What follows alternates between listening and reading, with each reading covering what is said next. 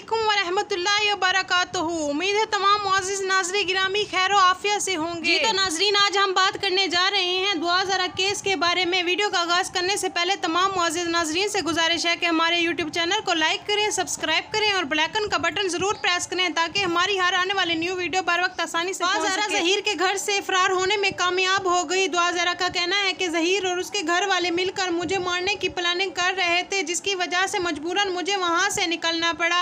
जहरा लाहौर अदालत पहुँच गई। जब अदालत में इनसे पूछा गया कि आपको आपके वालिदैन की तरफ़ भेज दिया जाए। दुआ जरा का कहना था कि नहीं मुझे ना जहीर के पास जाना है ना ही अपने वालदेन के पास। मुझे दोनों तरफ़ से अपनी जान का खतरा है हाँ। नाजरीन दुआ जरा का ये भी कहना था कि मुझे पिछले कुछ दिनों से अपने वालिदैन की तरफ़ से जान से मारने की धमकियाँ मिल रही हैं। लिहाजा मेरी आपसे गुजारिश है कि मुझे लाहौर के दारुलमान में रहने की इजाज़त दी जाए ताकि मैं अपनी ज़िंदगी सुकून से बसर कर सकूँ। दारुलमान में रहने के बाद सिंध हुकूमत की तरफ़ से नोटिस जारी हुआ जिसमें यह था कि दुआ जहरा का फैसला उनके वालदेन के हक में हो गया है। आप देखते हैं दुआ जहरा जहीर के पास जाना पसंद करेंगे, या अपने वालदेन के साथ। आप दुआ और जहीर के मुतलिक मजीद जानना चाहते हैं तो हमारी वीडियो को मुकम्मल वाच करें, लाइक करें, सब्सक्राइब करें और हमारी न्यू अपलोड होने वाली वीडियो का इंतज़ार करें।